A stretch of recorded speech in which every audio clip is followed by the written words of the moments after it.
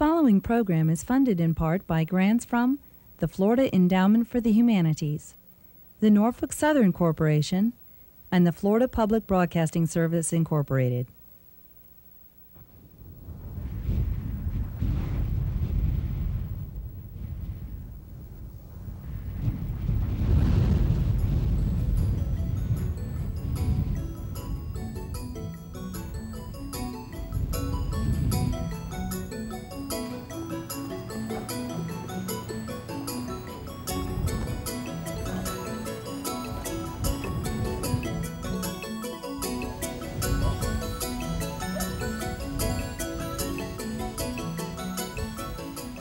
Dub Warrior is a black Seminole. He is descended from Africans who escaped slavery and united with the Seminole Indians in Florida more than two centuries ago. There's no future without a past. It's a fact. If you're coming from nowhere, you're going nowhere. 1776. 13 American colonies rebel against British rule, but Florida remains loyal to England. The river dividing Georgia and Florida becomes an international border. Hundreds of blacks enslaved on American plantations escape south, finding refuge and allies among the Seminole Indians in northern Florida. Enraged slave owners enlist the United States government to destroy the Black and Seminole alliance. But in 50 years of fighting, the bond between Black and Seminole is not broken.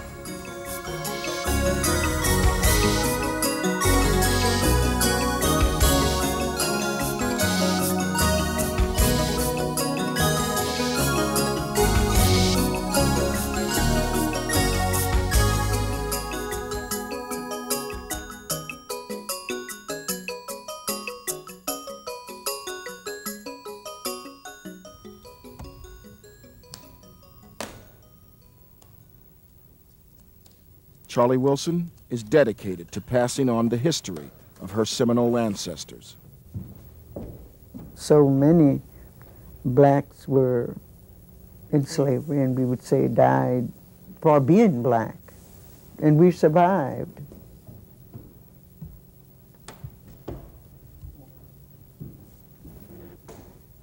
The heritage of these black Seminoles is unique.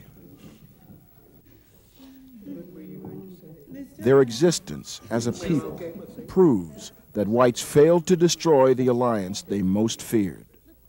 They knew if there was ever a joint effort that they wouldn't be able to control.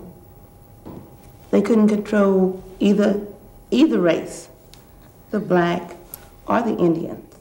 The Indians were skilled, but then you had your blacks, some of them were domesticated by the whites. They knew their ways, they knew their, their weaknesses. So together, what do you get? A formidable foe. Because they, they, they're stronger together.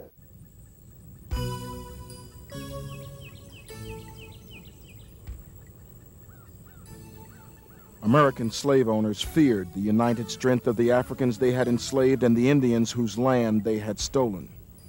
This combined African and Indian force soon became Florida's best defense against American invaders. A 1783 treaty ended the American Revolution. Control of Florida returned to Spain, the territory's original colonial ruler. As the Spanish moved into St. Augustine, the Americans demanded the return of escaped slaves. But the Spanish had other plans time, day or night, step out and get what was taking place.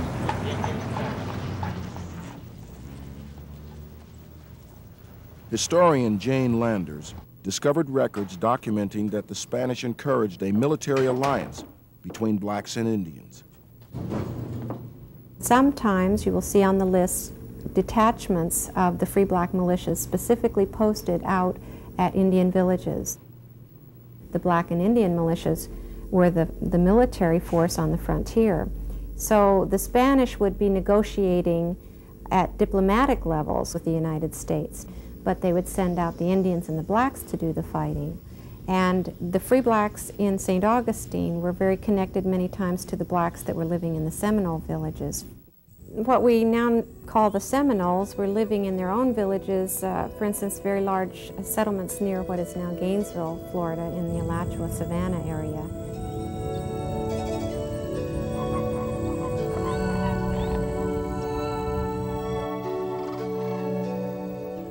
A close relationship developed between Seminoles and blacks on this prairie.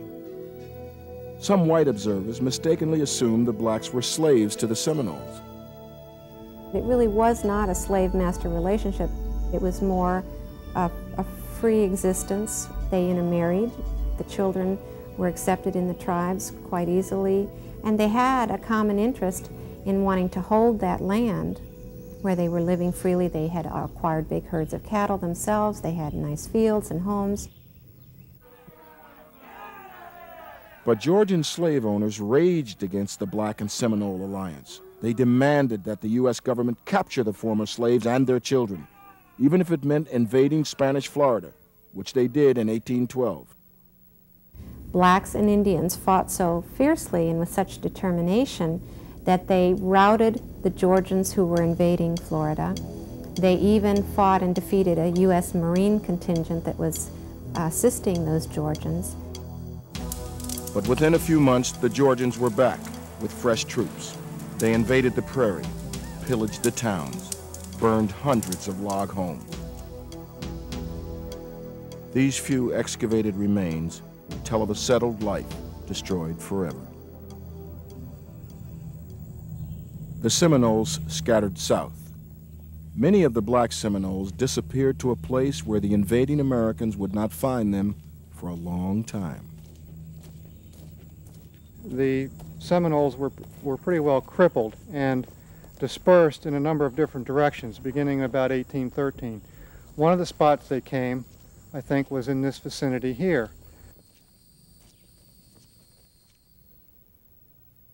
This map, drawn more than 150 years ago in the diary of an American military engineer, led anthropologist Brent Weisman to this remote location on the Withlacoochee River. The diary's author, Henry Prince, called this place Boggy Island. We're now in the middle of Boggy Island, high and dry, in the midst of river swamp all around. This is the area described by Henry Prince as being cleared and cultivated by the black Seminoles during the Second Seminole War period. It was in this area here, now overgrown as a very beautiful mesic hammock, that the black Seminoles grew corn, beans, several varieties of squash, pumpkins, and along the edge of the river, sugarcane. We know very little about how these black Seminoles were living. We don't know what their settlement looked like. We don't know anything about their daily lives. On the other hand, we have a very informative historical resource below our feet, a relatively undisturbed archaeological site out here somewhere, waiting to be further explored. It's quite possible that archaeology will hold the key to developing a real history of these black Seminoles in Florida. The black Seminoles at Boggy Island stayed out of sight, while another group of blacks occupied this highly visible spot the location of what was called Negro Fort on the Apalachicola River in Spanish Florida. The British built this fort during the War of 1812. They retreated in 1814 and left the fort and extensive artillery to blacks and Indians settled along the river. American slave owners detested this evidence of black strength so close to their plantations. Young General Andrew Jackson ordered the fort destroyed, regardless of the ground it stands on.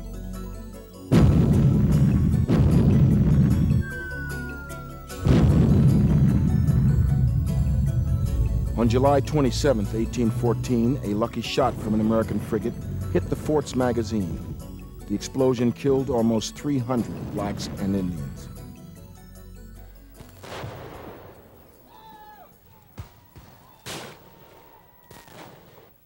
In 1817, Jackson invaded Spanish Florida with the excuse of routing out blacks and Indians. The Spanish didn't stop the Americans, and by 1821, Florida belonged to the United States.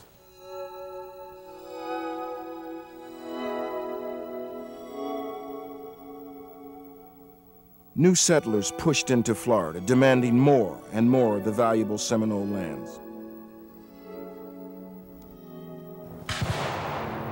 Violence between settlers and Seminoles continued, even after the U.S. government restricted the Seminoles to a reservation. Slave catchers made a living kidnapping black Seminoles. As president, Andrew Jackson demanded that all Seminoles be removed west and that all black Seminoles be sold into slavery. The Seminoles refused. Thousands of U.S. troops occupied the Florida Territory.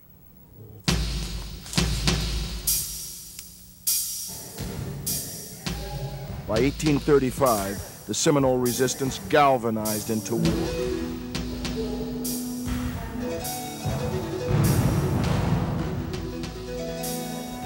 The older ancestors,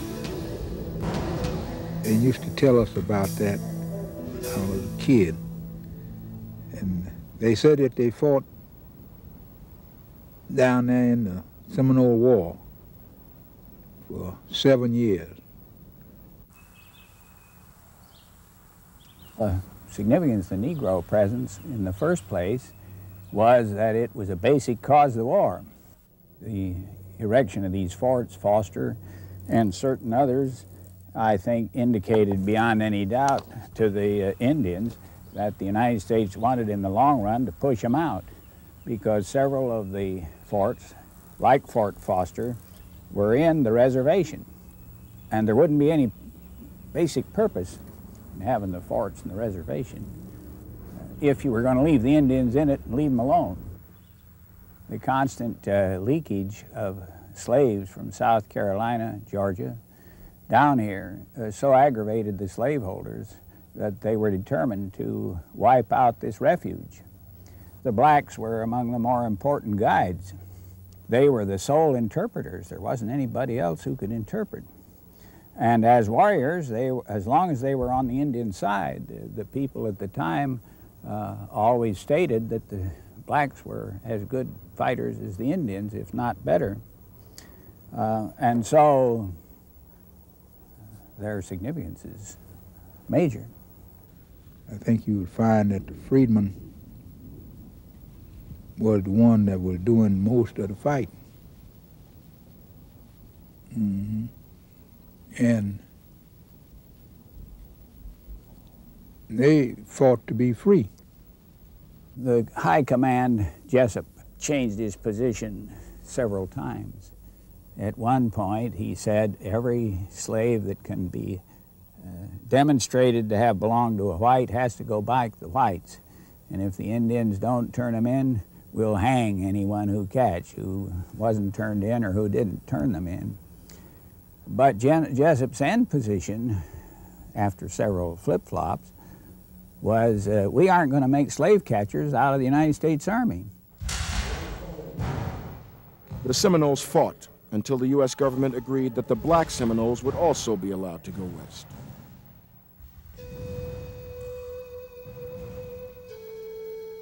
While some Seminoles never left the Florida swamps, the majority of Seminoles, Indian and black, sailed from Tampa Bay up the Mississippi and Arkansas rivers to Indian Territory.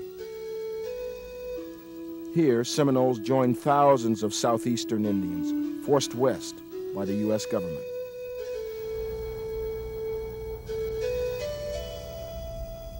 This countryside now bears the name of Seminole County, Oklahoma. It is headquarters for the Seminole Nation in the West.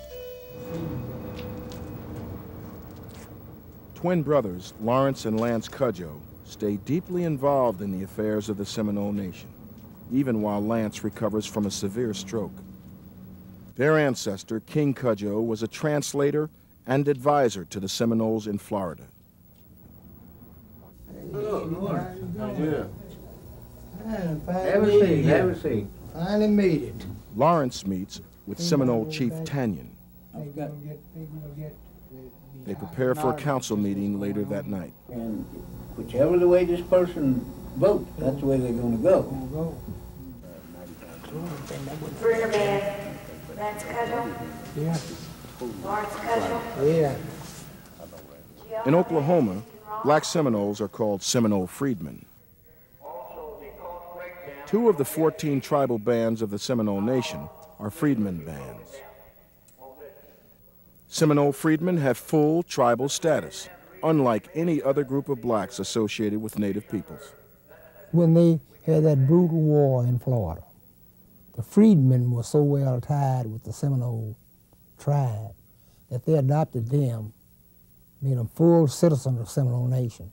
Now that their constitution was a lot different than the Creeks and a lot of the rest of them because they really were blood brothers. In fact, there was a lot of marrying, intermarrying in that tribe. Ben Warrior is the head of the Dosar Barkus Band.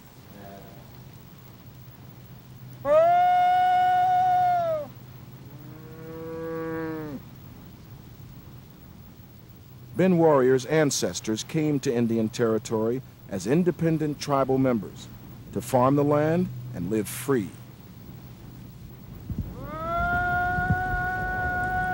When the government made agreement with the freedmen to cease fighting and come to Oklahoma with the Indians, the freedmen made agreement that they, they would come, but they had to come with their guns on. So you see, the freedmen came here with their guns on. And they said the freedmen was slave to the Indian, but slave don't wear no gun.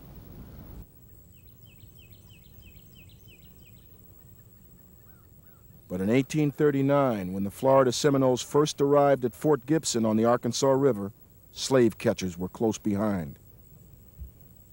Many black Seminoles stayed at the fort and built this commissary for the government. The Army protected them from slave catchers, but still called them slaves. The persecution continued. In 1849, blacks among the Seminoles were legally declared slaves. In defiance, Seminole war hero John Horse and his partner Wildcat rebelled. They led 300 followers out of Indian Territory into Mexico. They chose Mexico, I imagine, because uh, it, was, it was supposed to be free over there. They could do what you wanted. If they had stayed over here, they'd be back in slavery again. The Seminoles lived near the Rio Grande for 20 years, where they served as border patrol for the Mexican government. The Seminoles' expertise as horsemen and sharpshooters made an impression, even on the American side of the river, where they were still considered slaves. Soon after the Civil War abolished slavery in the United States, the U.S. Army recruited the Seminoles as border scouts.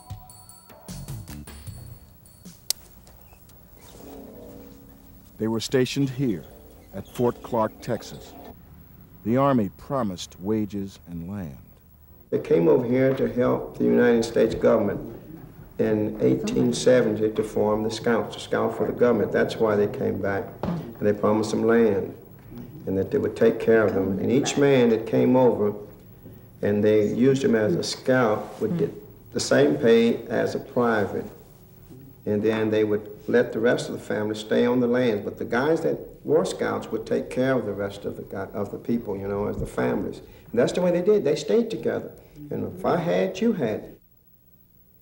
The Seminole Scouts served the U.S. government for 34 years. They earned three Congressional Medals of Honor.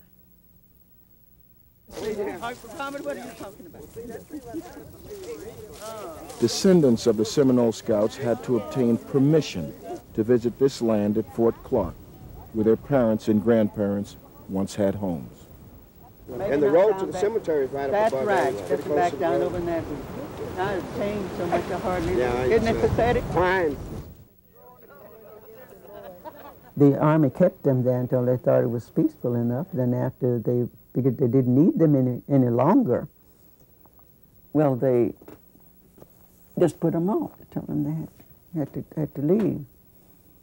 And I learned that, of course, there would be some dissensions about it because they had, had never thought of it, had never thought they would ever have to leave. They had established their homes and was getting along comfortably. Fort Clark is no longer a military base, but a private residential club. when they first opened up here, you paid to go in the gates to get down in the on the reservation and all. And that was one of the reasons why I joined, because I felt that I was born down there. That's our land. And they shouldn't and they shouldn't have taken it. And there is there is a bit of bitterness. Seminole Scout families lost their Fort Clark homes.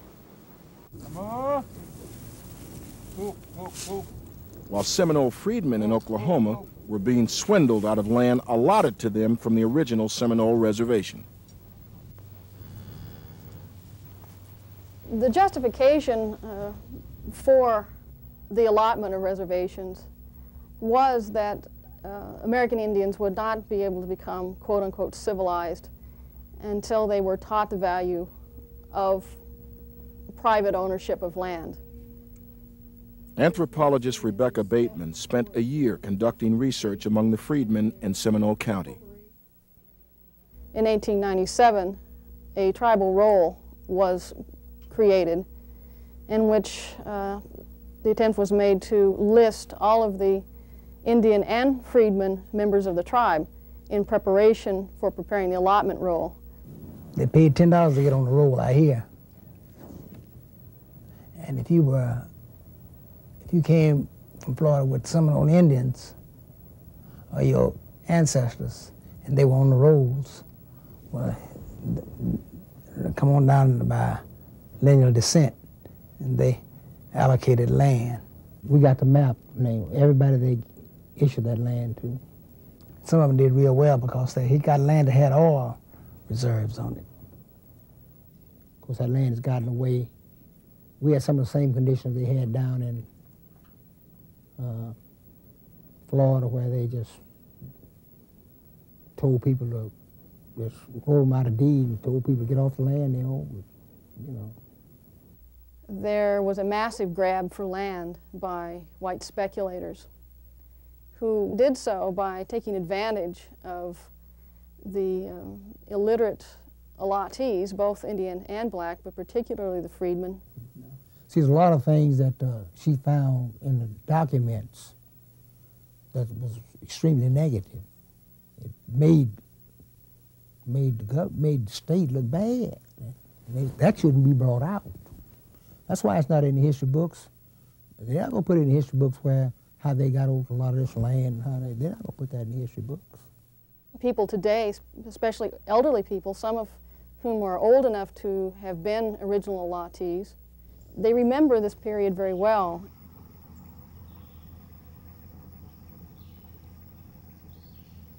Helen Thurman, born in 1902, was listed on the allotment rolls as a newborn.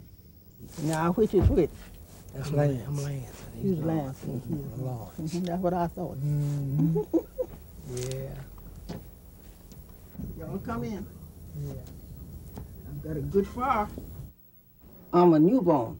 You were newborn. Uh-huh. Yeah. All the newborns just got 40 acres of land. But Yes. some got 60s, are the older ones. First class land, though. They got 60 acres. 60. Mhm. Granddaddy, his name was John Cudjoe. Uh, he got a good grade of land, just right east of Middle Creek Church, down off in that bottom. Oh, it was wonderful. Mhm. But after he passed away, so many heirs, one sell, this one sell, and some they petitioned him out, you know. Mhm. Didn't get nothing. Didn't give, give them nothing, but they, yet and still they took it. They had some bitter fighting. Mm-hmm. And that's the way a lot of the land went. The freedman town of Wewoka was founded by John Horse on land belonging to the original Seminole Reservation. The Seminole Nation Museum in Wewoka holds reminders of a past when blacks and Indians shared a community. A past when their children attended the same schools. But land allotment and the segregation laws which came with Oklahoma statehood eroded the black and Indian bond. Children with Seminole heritage, like Frederica Cudjoe, must rely on grandparents to pass on their unique history. Well, I found out that uh, my grandfather was uh, a freedman in the Seminole. I never knew that. And I never knew that he, you, he used to be, live in Seminole. Kenny Talley. Here. Kwame Todd. Here. Edna Walden. Here. Big Steve. The attendance list of this class shows mostly Anglo names, passed on from slavery days, while Frederica Cudjoe's West African surname tells of centuries of black independence. Allegiance to the flag of United States of America. An independence made possible by the Seminole Alliance. One nation,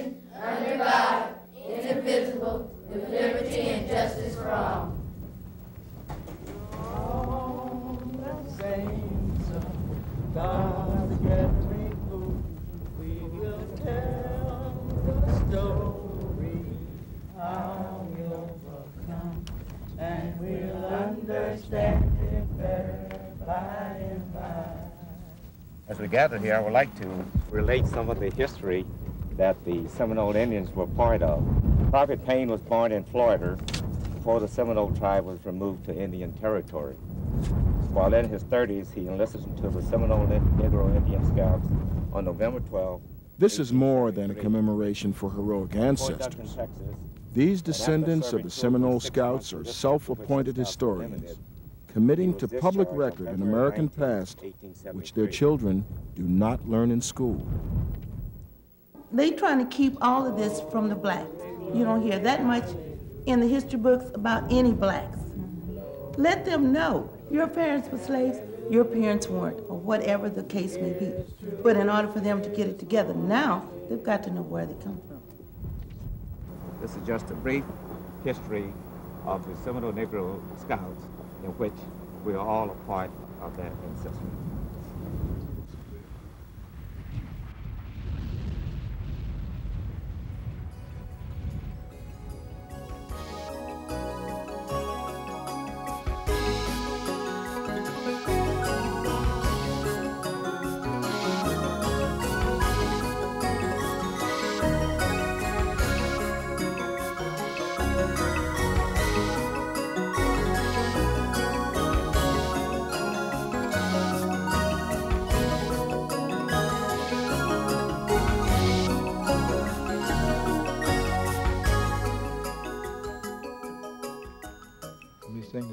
Word of it.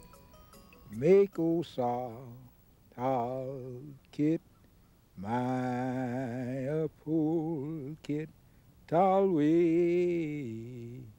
low for my happy akachi.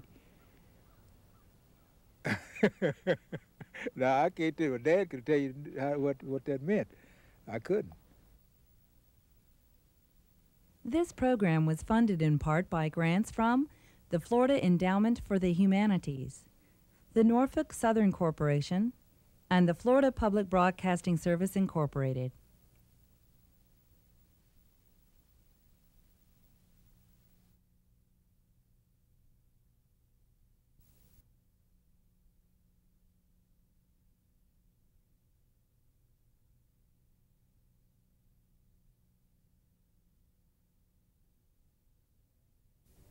Hello, I'm John Amos.